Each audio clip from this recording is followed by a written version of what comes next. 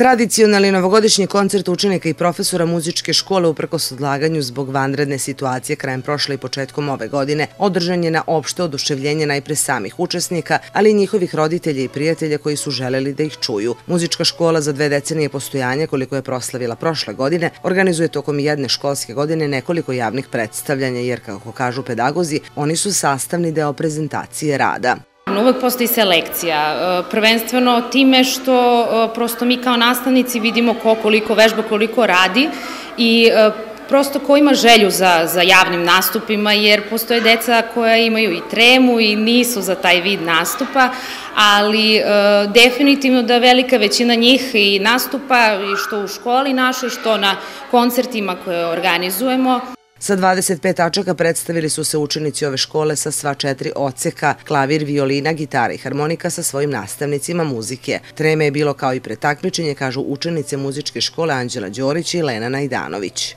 Stvarno mi je bilo žao što ga ranije nismo organizovali zbog situacije, ali e, ipak novogodišnji duh uvek ostaje. Ima malo tremu, ali mislim da će da bude lepo i volim да певам и Gost koncerta bila je Jelena Jovanović, profesor solo pevanja iz Niša, koja je u saradnji sa školom u sklopu ovogodišnje Božićne škole sportova vodila radionice solo pevanja za zainteresovanu decu Pirota. Imali smo četiri radionice, bilo je dosta polaznika, dosta dece, mnogo dece želi da se bavi solo pevanjem, iskazali su neku želju, neki potencijal, tako da moji utisci su vrlo pozitivni, um, deca su jako talentovana, dobra, željna da napreduju u muzici, tako da Pirot ima dosta potencijala za buduće pevače. Ovim koncertom muzička škola nastavlja svoju misiju muzičkog obrazovanja dece.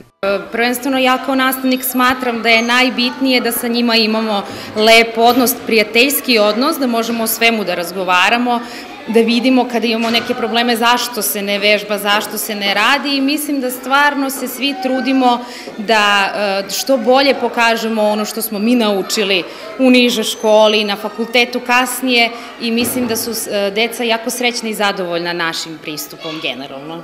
Pored redovne nastave, deci i njihovim pedagozima predstoji bogat kalendar takmičenja. Školsku 2022-2023. godinu pohađa 195 učenika u matičnoj školi i isturenim odeljenjima u Babušnici i Dimitrogradu na sva četiri odseka.